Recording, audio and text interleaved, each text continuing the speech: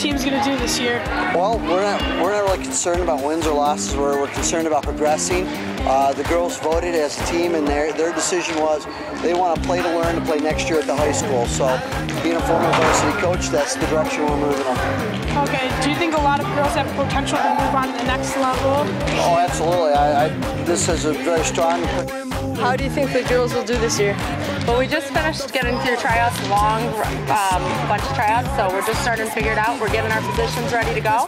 But I think we got a good group of girls, so I think we should do a pretty good job. And uh, do you think any of the girls will move on next year and play eighth grade volleyball? I would hope to. I hope to see that. The plan is we get them ready for eighth grade, for high school, all the way on.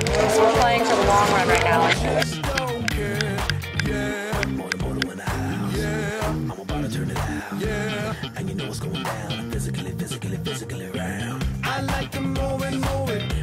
So, uh, do you think you guys have a good team this year?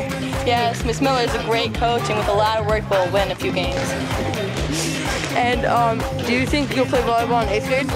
Yeah, it's a fun sport to play, Baker has good coaches. Okay. Just begun, big action, pump up the